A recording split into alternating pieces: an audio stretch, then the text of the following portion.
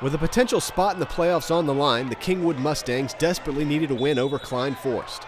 Trailing by two with just a few seconds left in the game, Trevor Conn hit the shot that most can only dream about as he sinks a corner three at the buzzer to give Kingwood a 40-39 win over Klein Forest. For that clutch performance, Trevor Conn is our Chevy Most Valuable Player.